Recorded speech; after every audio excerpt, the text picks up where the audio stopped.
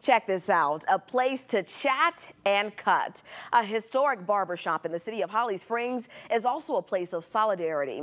It's a place where cuts and conversations happen every single day. Our visual storyteller Randy Page takes us on a journey of Pegues and Sons.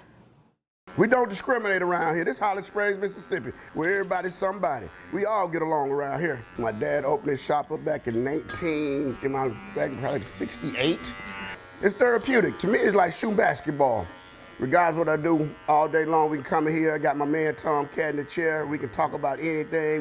You know, he might be deep into sports, so if you're deep into sports, we're gonna talk about this.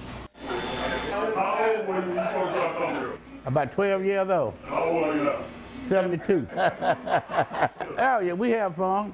Have fun. Sit around, tell a true joke, might lie a little bit. Like I said, we started in, in the community right here, just blue collar workers in a blue collar town.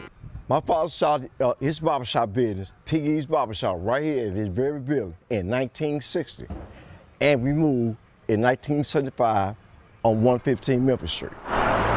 To me, it's good fellowship. It, I mean, like they say, your barber, your barber and your bartender is your, is your therapist. We call it uh, the, the country club. It's free.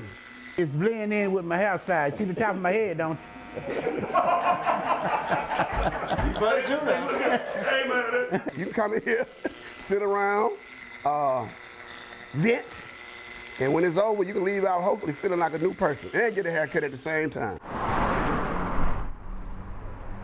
You can find Pegues and Sons on 115 North Memphis Street in Holly Springs.